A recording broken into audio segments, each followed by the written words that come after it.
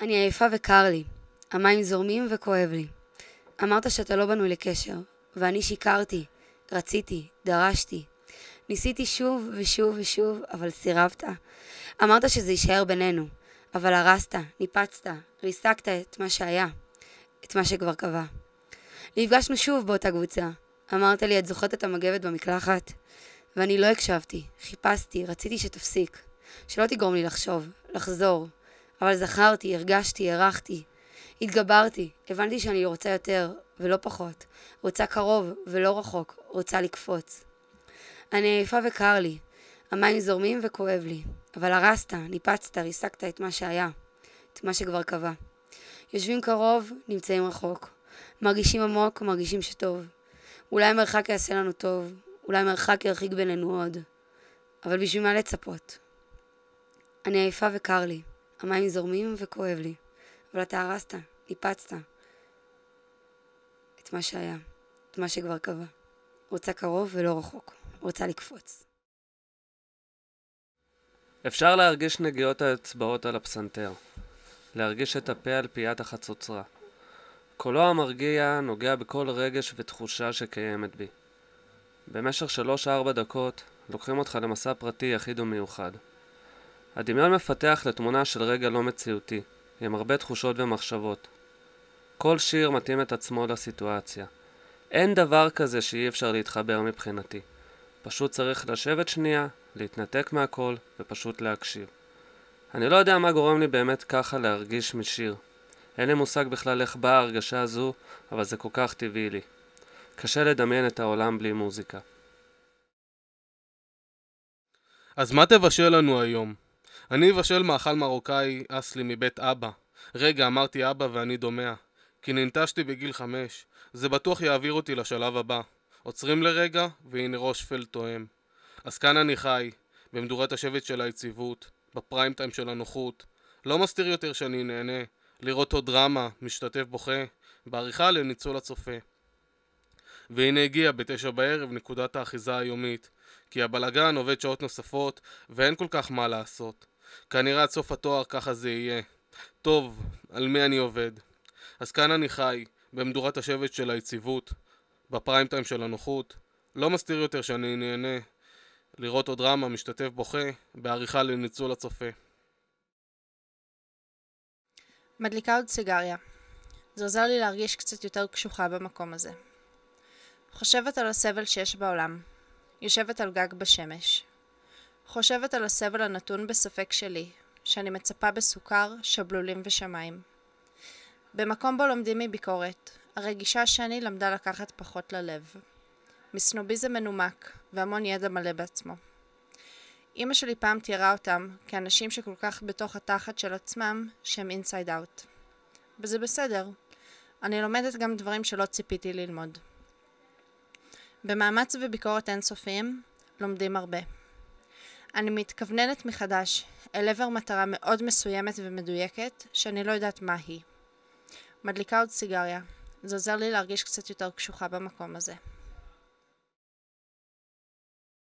אני מארגנת משחקים, שיחמם קצת את האווירה. מי שלא ישתתף, יצטרך לשתות. החל מרביעי הבא אנחנו פתוחים, שעות מדויקות בהמשך. עד כן. נשארתי בוכה אתמול עד שלוש. נטשה, בוקר טוב, אני רוצה לשלם לך, תגידי לי כמה. אתה יכול לבוא אולי מחר לירושלים? מתי הפגישה הבאה? פשוט אין לי כמעט צוללה. בחנוכה שנה שעברה, במסיבה של המחלקה, היה אלכוהול ואת היית שיכורה. השנה לא תהיה מסיבה, כי את התלוננת שמרצה נגע בך בחנוכה בשנה שעברה. בחדשות דיברו על זה, קראו לך א' וטשטשו לו את הפנים. ואני שואלת אותך, א' מבצלאל, למה עישנת איתו ג'וינט? רק שניכם. בחוץ, בחושך, בקור.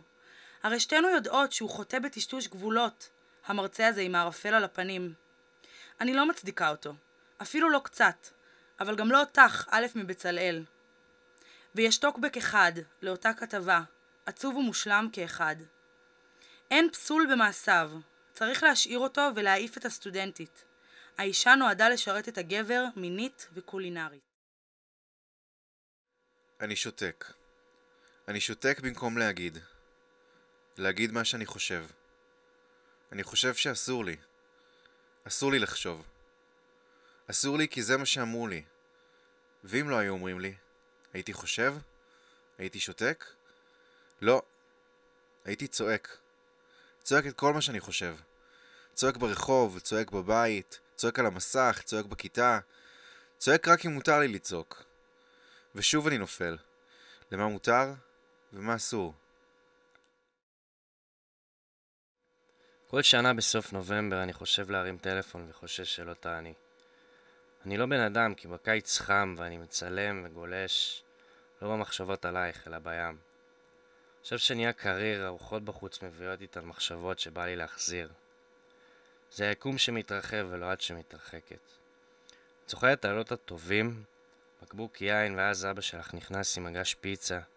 מסתכלת עליי ומחייכת חיוך הדמדם ולמרות שאכלתי אצל אמא שלי אני אוכל איתך שלושה משולשים כדי שתהיי שמחה. הרבה זה קרה, ככה זה בנים, אנחנו עושים דברים בשביל בנות כדי שיהיו שמחות. לפעמים. ביקור תמים בסופר שבוע שעבר הפגוש אותי עם דורון. הוא עמד ליד דוכן טעימות של גבינות. פראייר שנסעת לירושלים, הוא אמר. אתה עוד תחזור לבת שלי על ארבע. יצאתי משם עם חיוך הדמדם, וחשבתי להרים טלפון יפה. בא לך פיצה?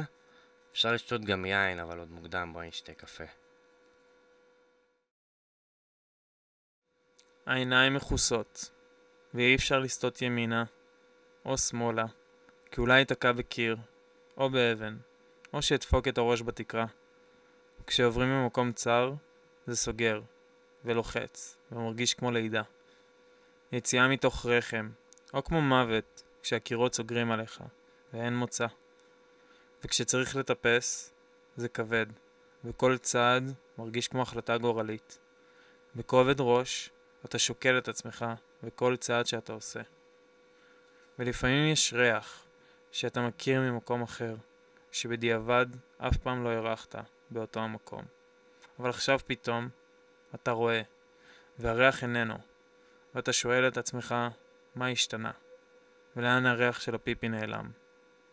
בשלב מסוים זה הופך מונוטוני. אתה הולך, אבל לא יודע לאן, מסתכל על הרצפה, אבל לא רואה כלום. אתה שוכח מהרגליים ומתרחק בתוך הראש, למחשבות אחרות, שוליות. גם אם רק לרגע קצר, זה מרגיש כמו מנטרה, סוג של מדיטציה. מתנתק רק לרגע, מתוך הגשמיות. הוא נמצא רק בתוך התודעה שלך, ויש מין רוגע, גם אם רק לרגע קצר. נפתחו מעליי כנפי התודעה, כי יצור בן תמותה אני. וכעת חיה בזמן בו נגזר עליי להתקיים. במקום בו נבחר לי לאום ונבחר לי גם שם, בעולם שבו לצדק אין מקום, שכן הטבע אינו צודק או טועה רק ישנו. וצדק היא מילה מאוד מסוכנת, אותה בוחר האדם לעצמו. בכל יום הוא מחליט וקובע מה נכון ומה לא, מטוב, מרע, מפחות, מיותר, ומכל אלה שעליהם אפשר לוותר. הצדק משתנה, מתעוות, מתפתל בין תרבות לתרבות, בין אדם לאחר, אבולוציה של אמפתיה גועשת וצורחת בזמן שאנחנו בוהים במסך מרצד. כי בעולם של דימויים אין מקום לאדם, יש רק סמל ולוגו שמחזיק אותו שם. אבל במקום בו הצדק נופל, האמונה מנצחת. ואמונה זה דבר מסוכן עוד יותר. ודווקא פה ממקום די מוזר, כל מה שגואה בי הופך לאחר, מתסכול לכעס, לכאב, לתשוקה, הכל נעלם, ואני רק רוצה שתיגע לי בתחת. לא, אין לי פתרון אמיתי, רק דרכים שונות להעביר את הזמן. כל מה שארצה עכשיו זה שתשב לידי ותלטף לי את התחת. כולם בכאילו עסוקים. כל הזמן בכאילו עסוקים. כל הזמן עסוקים מאוד בכאילו. מה הוא עושה? הוא עושה פעולות של עסוק בכאילו. הוא בכאילו עסוק כל הזמן. מה הוא עושה כל הזמן? עושה כאילו עסוק. מתעסק במשהו, אבל בכאילו. אבל זה פעולות של בכאילו, ואני בכאילו אוכלת את האור, ואני עסוקה מאוד בגלל זה. אבל זה פעולות של בכאילו, ונשפך קפה, ויורד דם. ורוצה להתעלם, אבל צריך לנקות עכשיו, כי עכשיו זה באמת. הבכאילו גדל למשהו אמיתי, ולא התכוננתי בכלל. אני רק חיפשתי פעולה של בכאילו, כי כולם רוצים הגנה מעצמם. כולם נראים עסוקים כל הזמן, וזה עושה כאב ראש להסתכל על המסך כשאת בתנועה, אבל תנועת הבכאילו יותר חזקה. ולחשוב מה אנשים חושבים כשאני לא עושה כלום באמת, היא קשה. אבל בעיסוק בכאילו זה גלגל הצלה. זה אף פעם לא לבד, אבל רק בכאילו. בוקר, יום שישי, שנת 93. כל אחד אחת, אמרה אסנת. ניגשתי בשקט וביקשתי עוד אחת. זה בשביל טל, אמרתי. היה יום חם, כולם יצאו לחצר. ישבתי בשקט ושמרתי עליה. אחזתי בה חזק בידי. היה יום חם. בצהריים הם הגיעו, אמא וטל. שמרתי לך במבה, אמרתי. טל לקח אותה בזריזות מידי והכניס אותה על פיו. הוא הראה לי תולעת שמצא באותו הבוקר, אבל לפני שהספיק להסביר, אני כבר לעסתי. הכלב שלי היה נושך אנשים ברחוב, הוא נושך ממש חזק ברצועה. אמא שלי אמרה שהוא זקוק לאילוף, ואחותי הגדולה לא רצתה. לבית הגיע איש קרח, עם משקפיים, וציוד מיוחד. היה לו קולר עם סכינים מבפנים, ורצועה שמחשמלת עם שלט. ומאז, בכל פעם שהכלב יצא לטייל, והיה משוטט ומרחרח, הוא היה חוטף הבזק של חשמל, עומד זקוף ולא נובח. אני משתדלת ללכת מהר ובביטחון, ולאהוב אותך ביחד. למשש קירות מוצקים או ריקים, ובנחת הידיעה שאתה חוזר אליי הביתה. אני ממצמצת על אורות אדומים, ירוקים, והולכת מהר ובביטחון. להכין לנו שניצל פירה ותראה, אני לא הטיפוס של עקרת בית, ועוד לא גיבשתי דעה על ילדים. אבל אני הולכת מהר ובביטחון. והידיעה שיש לי אותי, ממלאת אותי המון ודאות ודעת. אז אני ממשיכה ללכת, ומטטט את הרצפה בפעם מרמור של היום קבלה שאני לא הטיפוס של עקרת בית. I'm a friend dependent woman. יומן, אתה בא? אני הולכת מהר. אני חושבת שאתה זה שלא מצאת איך לגרום לתשוקה להחזיר אליך אור. אתה משליך את זה על העולם שלנו למרות שאתה חלק ממנו, אבל אתה לא כולו. הייאוש שלך להחליט שאין כזה הוא בחירה שלך, אולי כי לא חווית הרבה זמן תשוקה אמיתית. מותר לי לחשוב שהתשוקה שאתה מדבר עליה היא רק ויברציה בגוף שלך, והיא יכולה להיות מהדברים הכי לא צפויים. כי תשוקה היא לפעמים מילה, לפעמים נגיעה חטופה, לפעמים היא רק לחבק, ולפעמים היא פיוטית כמו להתעלס בפרדס. והיא יכולה להחזיר אור גם לך, אם תסתכל עליה כשמואר. היא תחזיר אליך אור אפילו מהאור שלך. יכולה להחזיר אור מהדברים שמייחדים אותך, מאיך שאתה עומד ומתבטא, מאיך שאתה מזיז את הידיים שאתה לא מבין, ומאיך שנפערות לך העיניים שמשהו מעניין אותך. ואולי אפילו מאיך שאני רוצה לדמיין שאתה יודע אישה. ואני בטוחה, בטוחה שזאת תשוקה מחזירה אור.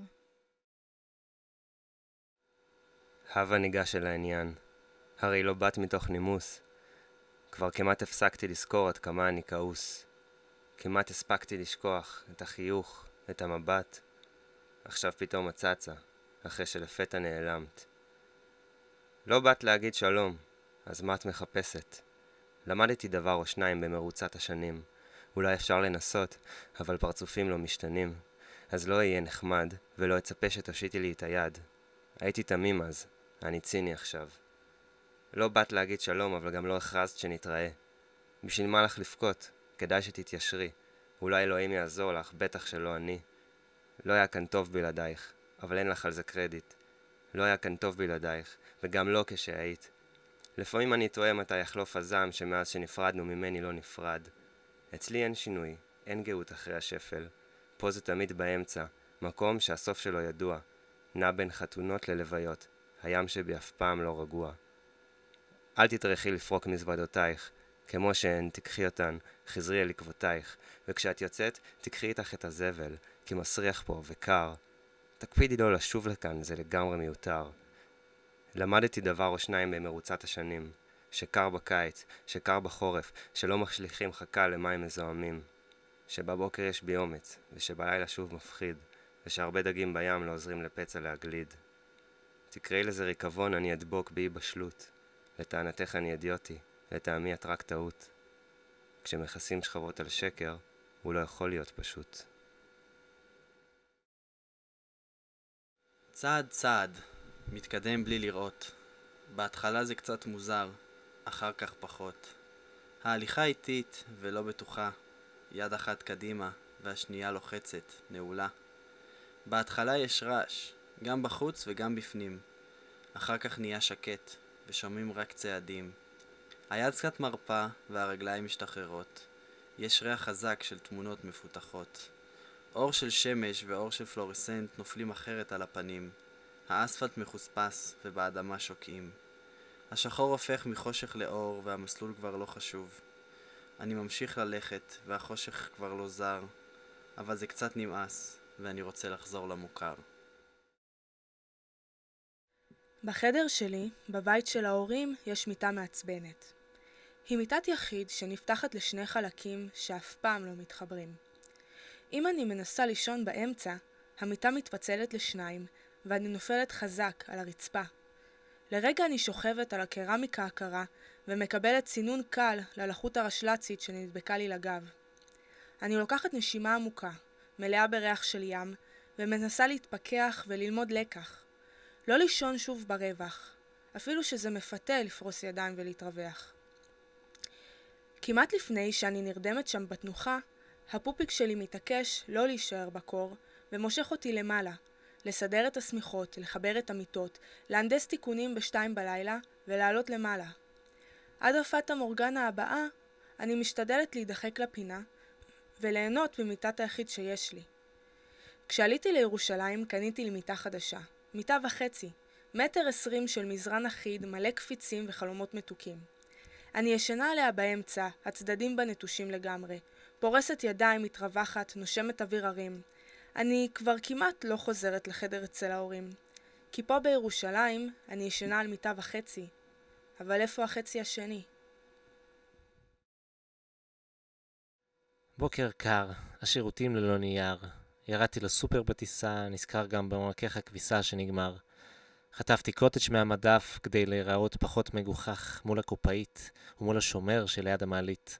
ארבע קומות בחזור ובדרך, טרור, הבטן, הבוקר קר, קוטג' למקרר, חתונה של חבר על המגנט, יש נייר טואלט, בוקר קר ואני מאושר.